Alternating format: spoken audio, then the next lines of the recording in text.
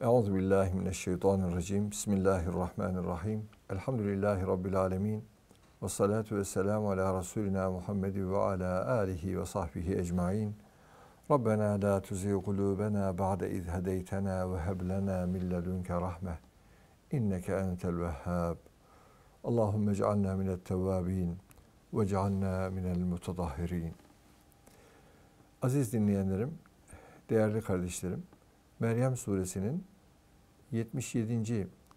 ayetiyle bugün inşallah tefsir sohbetine başlayacağız.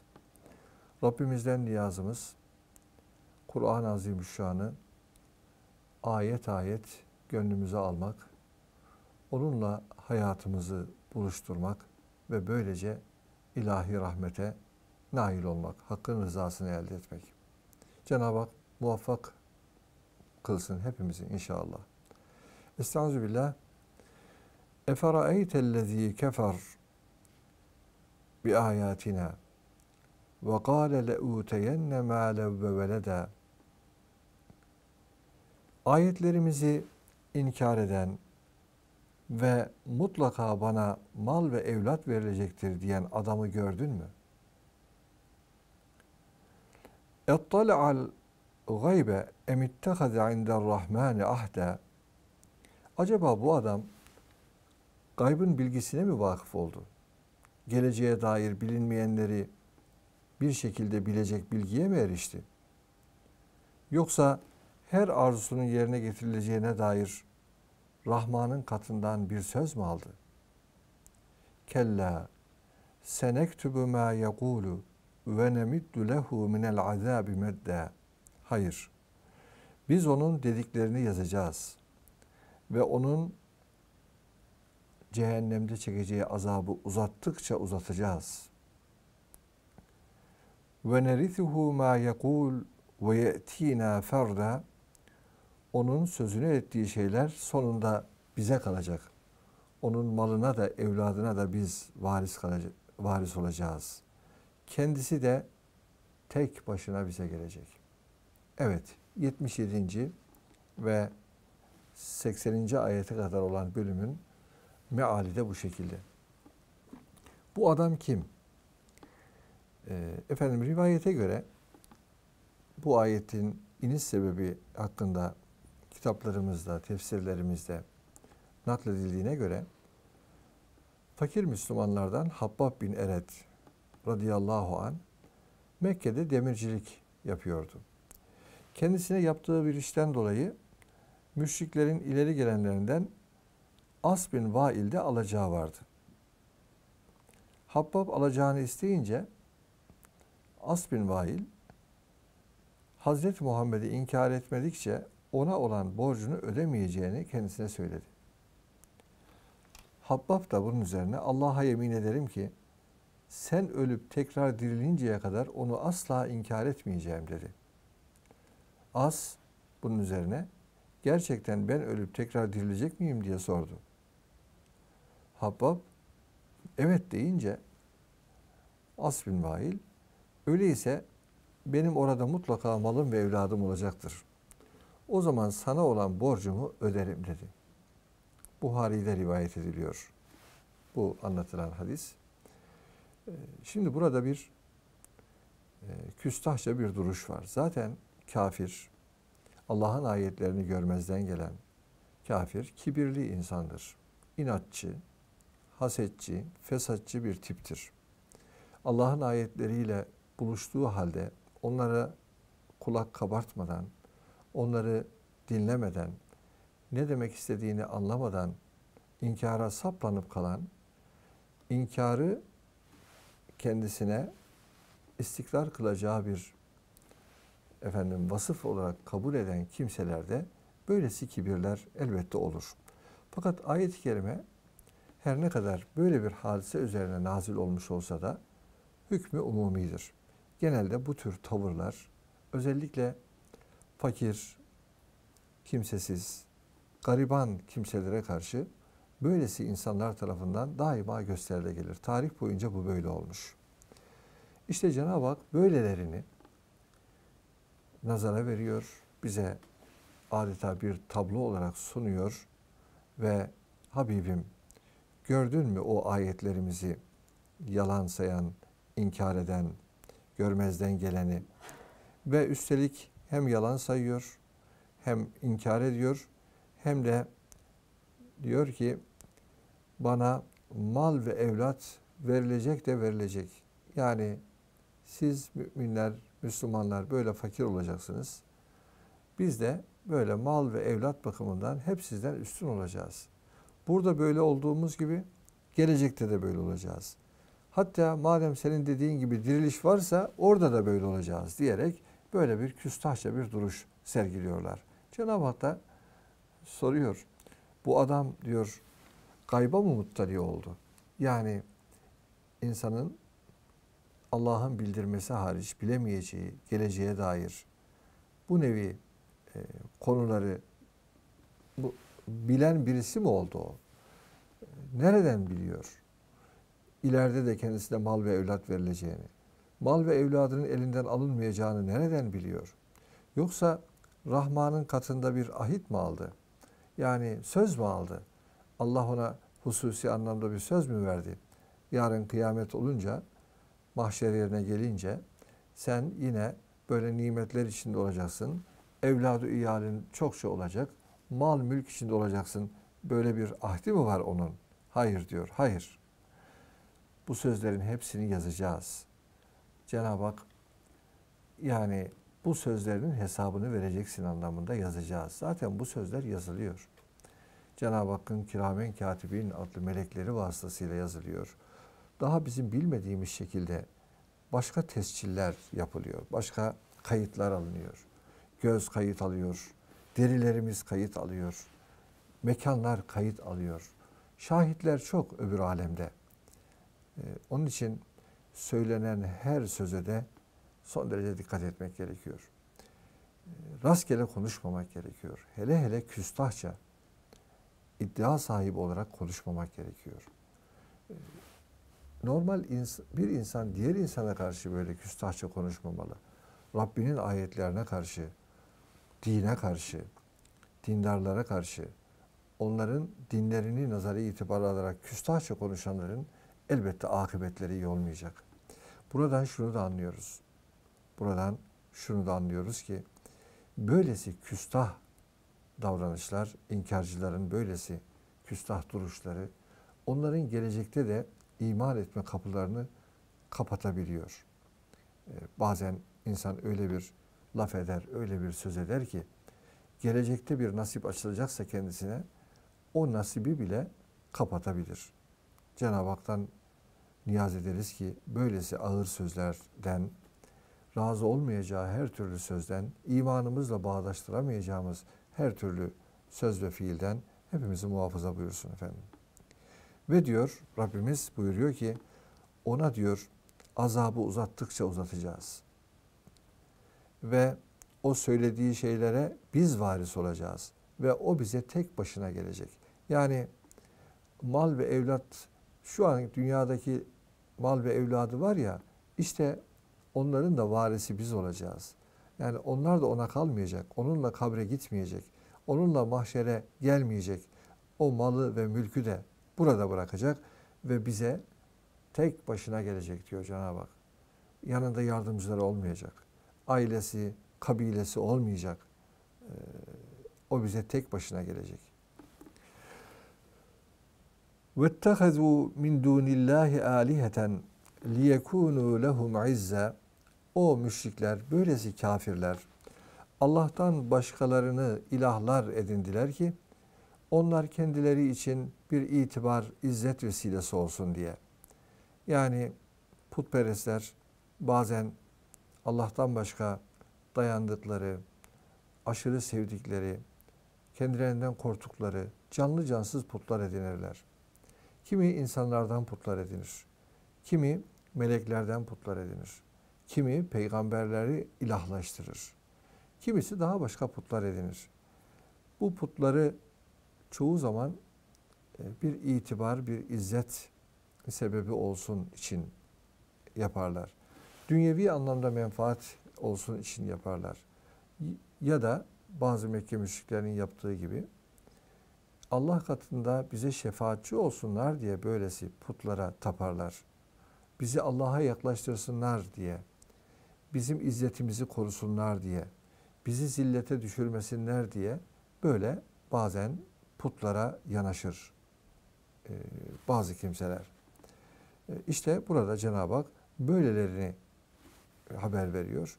Onlar Allah'tan başka bir takım ilahlar edindiler ki o ilahlar kendileri için bir izzet olsun yani bir itibar e, vesilesi olsun, bir kuvvet kaynağı olsun diye.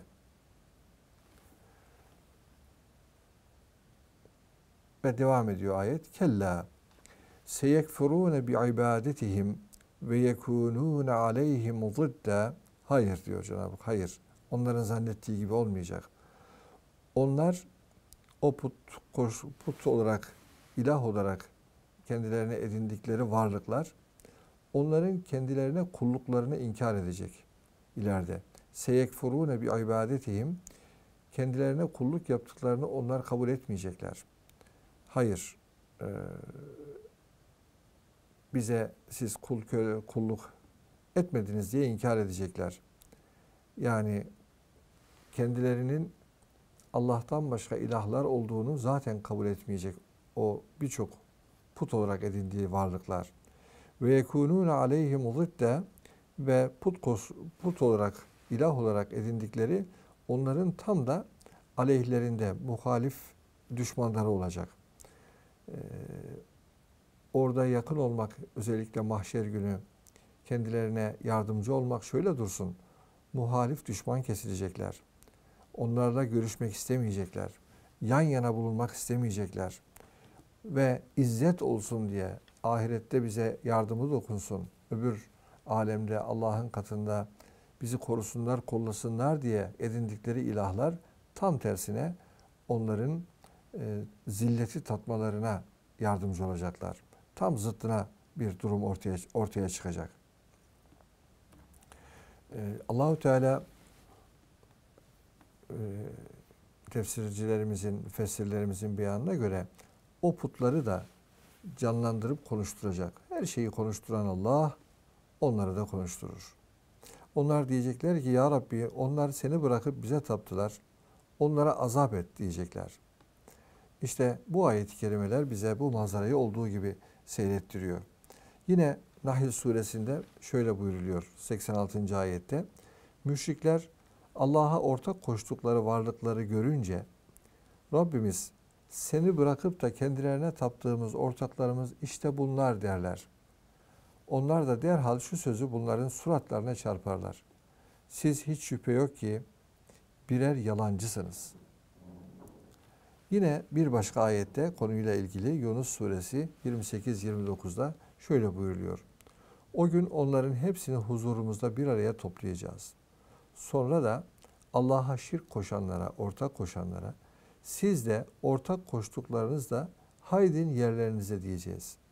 Böylece her birine layık olduğu, her birini layık olduğu yere koyarak aralarını tam olarak ayıracağız. Kendilerine Tanrı diye taptıkları şeyler onlara şöyle diyecek.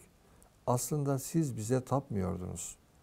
Allah da aramızda şahittir ki sizin bize taptığınızdan hiç mi hiç haberimiz yoktu. O taşlar, putlar nereden haber olsun ki? Tabi Allah'tan başka varlıkları ilah edinenler sadece putperestler değil. İşte İsa Aleyhisselam'ı ilah ediniyor. Musa Musa Aleyhisselam'ı efendim e, Musa Aleyhisselam'ın kavmi de Üzeyir Aleyhisselam'ı efendim adeta ilahlaştırıyorlar. Kimileri alimlerini, ariflerini, üstadlarını ilah ediniyor.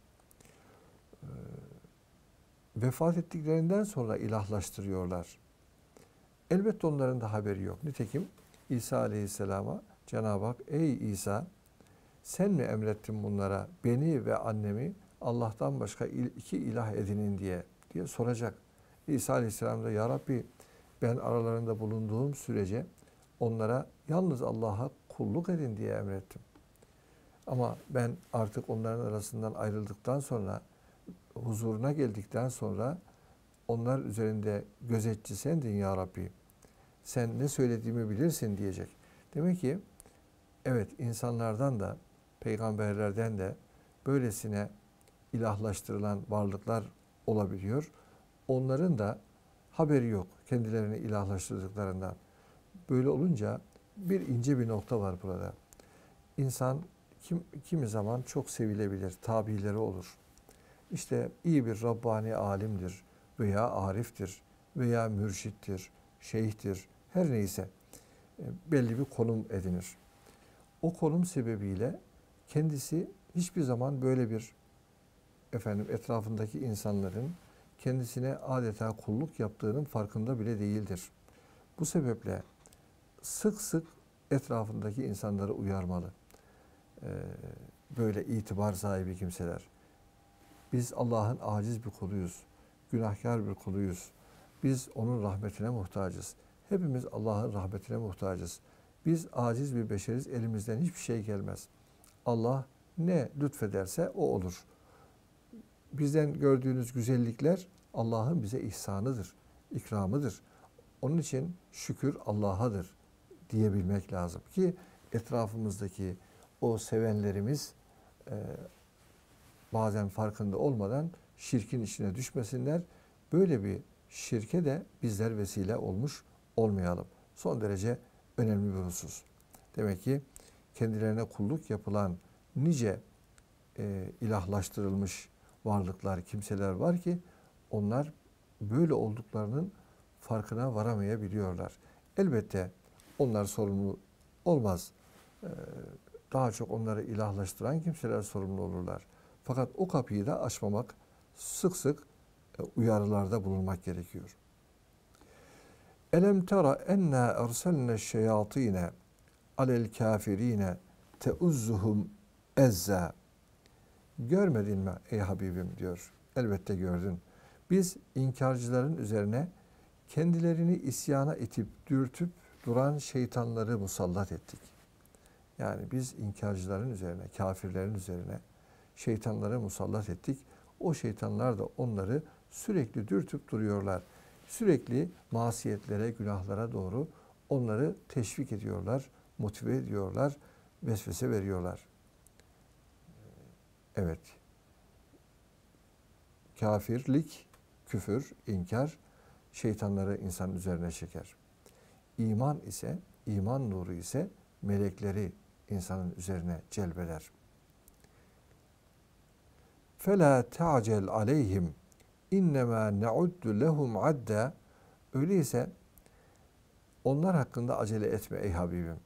Biz onların günlerini sayıyoruz. Bakınız onlara mühlet veriyoruz. Günlerini sayıyoruz. Yani onlar üzerine azabın inmesi noktasında sen de aceleci olma. Ya da sonuca ulaşma e, hevesinle acele etme.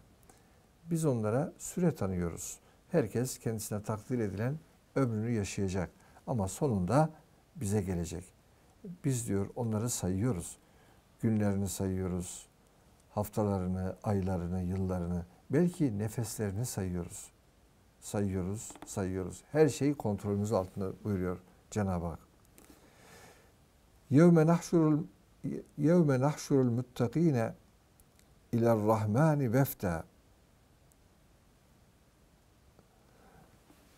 Biz kalpleri Allah'a karşı saygıyla dop dolu olup günahlardan sakınan o muttakileri kıyamet günü seçkin misafirler olarak Rahman'ın huzurunda toplayacağız.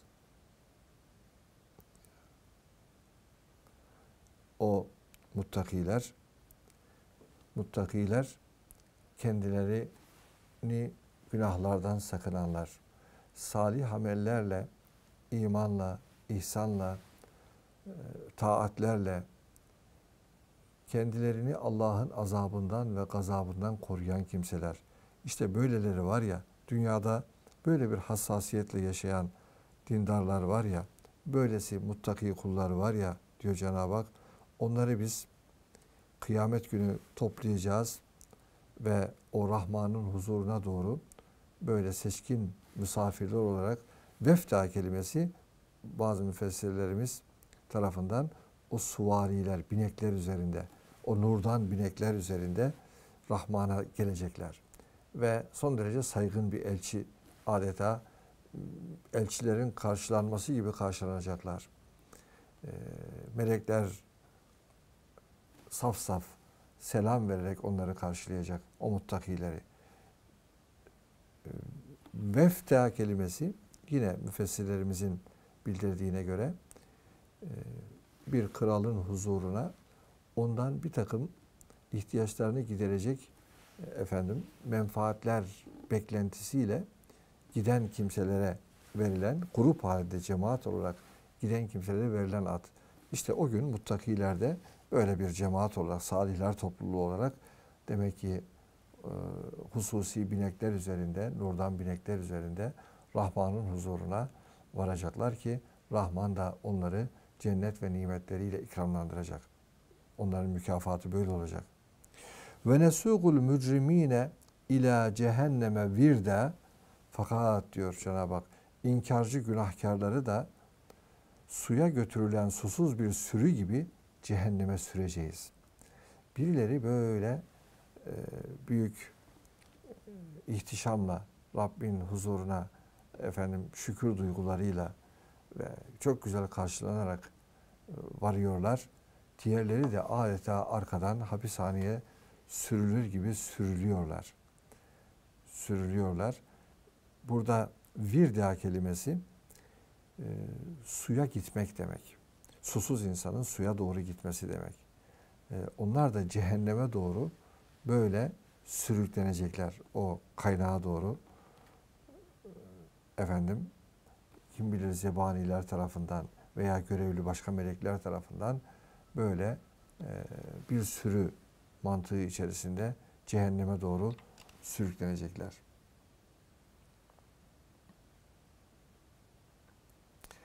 Ee, İmam-ı Kuşeyri der ki e, Sufilerden olan bu zat özellikle muttakilerle ilgili efendim e, hususlardan bahsederken bunlardan kimisi ibadet ve taatlerinin üstüne biner gelir. Kimisi dünyada yaptıkları e, güzel davranışlar ve halis niyetleri üzerine biner gelir. İbadet bineklerine binenler cennet isterler ve binekleri onları cennete ulaştırır. O güzel niyetleriyle, himmetleri ile güzel işlere yönelenler onlar Cenab-ı Hakk'ı talep ederler. Himmete âli olanlar. Onların muratları Allah'ın rızası ve cemalullah'tır. Bu himmetleri ve gayretleri de onları Rahman'ın rahmetinin yakınına davet edip götürür. Şu halde cennet isteyen başkadır, Rahman'ı isteyen başkadır der. Yani herkes tabi takvasının derecesine göre o gidişi ve karşılanışı alacağı mükafat da ona göre olacak. Yüce Rabbimiz ve kullin derecatun mimma amilu buyurur. Herkes yaptığı amellerden bir takım dereceler elde etmiş olacak. Herkesin karşılanışı dünyadaki iman ve salih amel kalitesine ve kıvamına göre olacak. O cehennemlikler ise cehenneme böyle adeta bir sürü gibi e, sevk edilecekler. La yemlikune şefaate illa men ittehade indel rahmani ahde o gün Rahman'ın katında söz ve izin alandan başkasının şefaat hakkı da olmayacaktır. Yani kimse kimseye Allah'ın izni olmadan şefaat edemez. Şefaat edecek olan Allah'ın izniyle şefaat eder. Şefaat edilecek olana da Allah'ın izni gerekir. Kim şefaat edecek? Efendim, kime şefaat edilecek? Bunlar ancak Rahman'ın katında kendisine bir ahit, bir izin verilen kimse için söz konusu olacak. Buradaki ahden ifadesini bazı müfessirlerimiz Rahman'ın katında e, imandan doğan bir ahdi olan kimseler o şefaate nail olacaklar. Zaten Kur'an-ı Kerim'de şefaati reddeden ayetlerin hemen hemen tamamına yakını kafirlerle ilgili. O inkarcılar orada herhangi bir aracı, şefaatçi bulamayacaklar. Ancak biz ehli sünnet olarak, ehli sünnet topluluğu olarak şefaatin hak olduğuna inanırız. Peygamberlerin, Cenab-ı Hakk'ın izin verdiği diğer salih kulların, şehitlerin şefaatleri olacağına inanırız. Ancak bu şefaatler onlara hakkın bir ikramıdır. Şefaat edilenlere de yine hakkın bir ikramıdır. Yoksa e, elbette kimse kimseyi Allah'ın izni olmadan kurtaramayacak. Şefaat sadece müminler için var olan bir şeydir.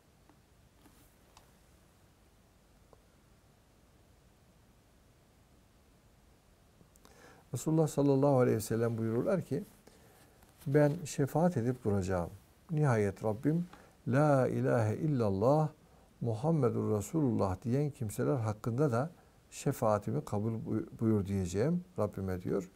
O şöyle buyuracak. Ey Muhammed o sana değil bana aittir. Yani e, her günah için efendim günahlar için özellikle büyük günahlar için Resulullah sallallahu aleyhi ve sellem Efendimizin şefaatinin olacağını biliyoruz rivayetlerden. Ee, ve Cenab-ı Hak La ilahe illallah Muhammedur Resulullah diyen kimseleri hakkında da e, şefaati bizzat e, kendisini yapacak. Yani şöyle Allah şefaat etmez tabi. E, doğrudan onların mükafatını da kendisinin vereceğini Rabbimiz burada haber veriyor Efendimizin hadislerinde. Ve kalu ittekader rahmanu veleda. O bazı müşrikler, kafirler dediler ki Rahman çocuk edin dediler. Rahman'ın oğlu var, kızı var, neyse bir çocuğu var dediler. Evet, müşrikler Allah'ın meleklerini Allah'ın kızları diye ona nispet ettiler. Hristiyanlar İsa Aleyhisselam'ı Allah'ın oğlu diye, ilah diye kabul ettiler. Yahudilerden bir grup Üzeyr'i Allah'ın oğlu diye efendim takdim ettiler. Cenab-ı Hak buyuruyor ki böyle söylediler. Rahman çocuk edindi. Lekad ci'tum şey'en idda. Ey böyle söyleyenler. Gerçekten siz çok çirkin ve korkunç bir iddia ortaya attınız. Nasıl olur böyle bir şey? Tekadus semavatu yetefaddarne minhu ve tenşakkul ardu ve tehirrul cibalu hedda. Neredeyse siz öyle bir söz söylediniz ki, öyle bir şey söylüyorsunuz ki, neredeyse gökler çatlayacak, yer yarılacak, dağlar yıkılıp yerle bir olacaktı. En de'av lirrahmani veleda, Rahman'a çocuk istat ettiler diye. Yani böyle bir e, büyük söz ettiniz ki, Allah eşten de münezzehtir, çocuktan da, kızdan da, erkekten de. Onun hiçbir şeye ihtiyacı yoktur. Onun çocuğu da yoktur. O ne ana babası var vardır Rabbimizin ne de çocukları vardır. Doğmamış ve doğrulmamıştır. Ee, öyle olunca bu öyle büyük bir sözdür ki diyor Cenab-ı Hak ayet-i kerimede. Gökler çatlayıp yere dökülecek. Yer çatlayıp adeta darmadağın olacak. Dağlar un ufak olacak. Öyle büyük bir söz. Şimdi bu varlıkların da bilemediğimiz böylesi hissiyatları olur. Ee, Cenab-ı Hakk'ın lütfuyla, keremiyle. Evet, bazıları bunu mecaz ifade olarak kabul ederler. Yani böyle bir şey kendi kendine çatlamaz. İşte gök, yer, dağlar. Burada bir mecazi bir ifade var. Bu sözün çok çirkin ve büyük e, bir söz olduğunu ifade için böyle söylenmiştir derler. Ama bazı müfessirlerimiz de hayır. Bu söz mecaz değil, gerçektir. E, dağlar da, efendim yerde, gökte e, Allah'a karşı böyle bir e, büyük laftan son derece etkilenip çatlayacak hale gelmiş olabilir derler. Ve ma yenbagî lirrahmani en yettehize veleda Halbuki çocuk edinmek asla Rahman'ın şanına yakışmaz. Öyle bir şey e, Allah'a yakışmaz. İn kullu men fis semavati vel ard illa atiyer rahmani abda. Çünkü göklerde ve yerde bulunan herkes istisnası olmaksızın ancak Rahman'a kul olarak gelecektir. Hiçbirinin ilahlık kapasitesi yoktur. Kimse de Yarı ilahlık diye bir şey de yoktur. Aracı ilahlar yoktur.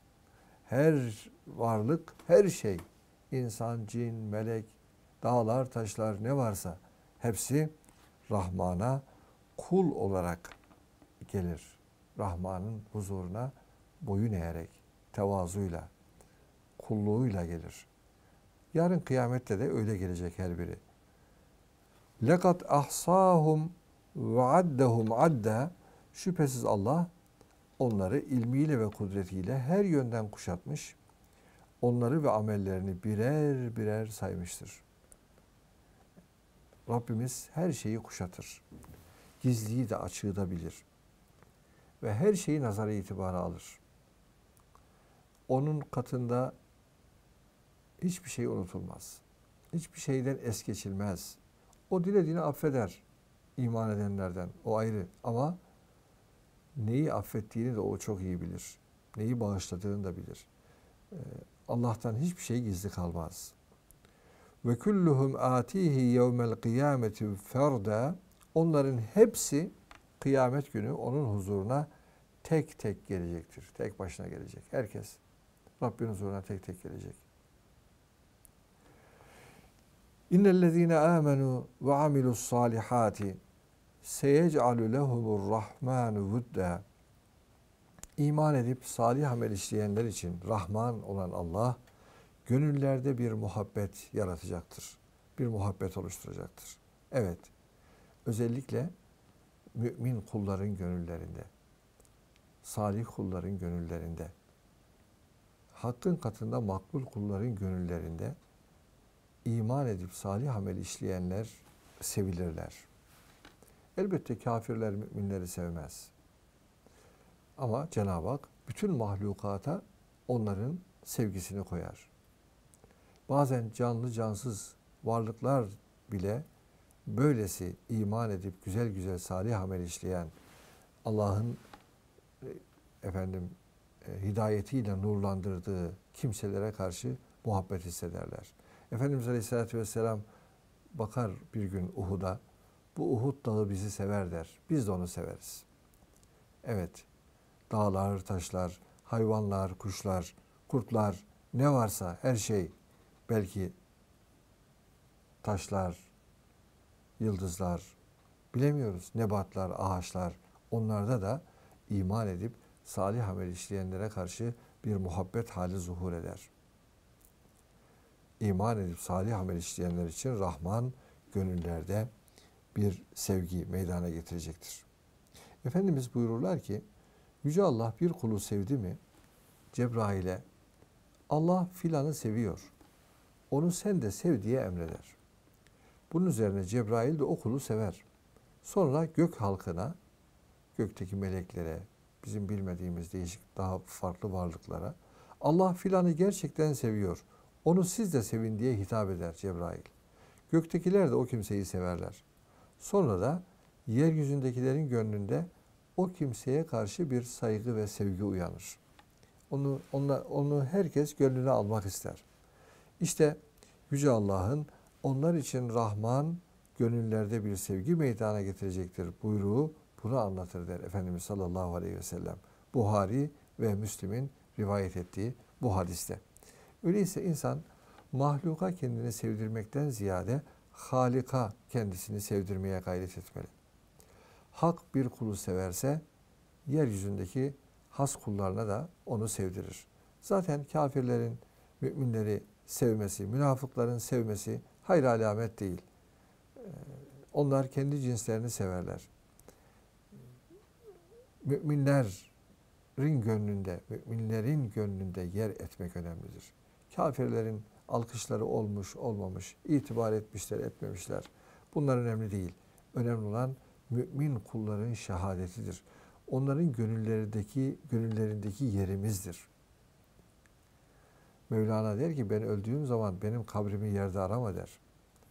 Benim kabrimi ariflerin gönüllerinde ara der. İşte Allah sevdirir. Allah bizi müminlere sevdiriyorsa ne büyük bir e, nimet. Bu aynı zamanda Yüce Rabbimizin de bizi sevdiğine bir işaret. Ama müminler bizi sevmiyorsa, iman edenler bize karşı soğuksa, iman edenler bize karşı buğz etmeye başlamışsa orada tehlike sinyalleri çalıyor demektir. Orada Allah'ın sevgisi de bizim üzerimizden çekiliyor demektir. Bu bakımdan e, insan Allah'a karşı imanını ve salih amellerini daima artırmalı, güçlendirmelidir. Ki Yüce Rabbimiz hem zat-ı uluhiyeti olarak kendisi sevsin, hem meleklerine sevilirsin, hem de yeryüzü halkından has kullarının e, sevgisine bizleri mazhar etsin efendim. Fe innema yessernâhu bilisanike bihil muttaqin ve tunzira bihi kavmel ludda. Biz Kur'an'ı senin dilinle kolay anlaşılır kıldık ki günahtan sakınanları onunla müjdeleyesin ve inatla direnenleri de onunla uyarasın diye. Evet, Kur'an-ı Azimüşşan Peygamberimizin dili üzere yani Arapça olarak indirilmiştir. Ve aynı zamanda Peygamberimiz sallallahu aleyhi ve sellem tarafından bize kolayca anlamamız için de kolaylaştırılmıştır. Efendimiz işte böyle zaman zaman bu ayetlerden ne anlatılmak e, istendiğini ve ne anlamamız gerektiğini bize güzel güzel anlatmış, açıklamıştır. Resulullah sallallahu aleyhi ve sellem Allah'ın ayetlerini bize böyle kolay kolay anlayacağımız şekilde açıklamamış olsaydı biz her şeyi e, bu rahatlıkla anlayamazdık. Ve Peygamber aleyhisselam niye bunu böyle efendim hem e, açıklıyor ve Cenab-ı Hak bize onun lisanıyla e, göndermek suretiyle Kur'an'ı kolaylaştırıyor. Muttakileri diyor müjdeleyesin diye. Ve böyle inatçıları, inatla direnenleri de uyarasın diye biz böyle bir yol izledik diyor Cenab-ı Hak. Ve kem ehlekna qablahum min qarnin hel tuhissu minhum min ahadin ev tesma'u lehum rikza Onlardan önce biz nice nesilleri helak ettik. Şimdi sen onlardan geriye kalan bir tek kişi görebiliyor yahut onlara ait cılız da olsa bir ses duyabiliyor musun? Yani nice kavimler geldi geçti. Hak, hakikaten şöyle diyelim.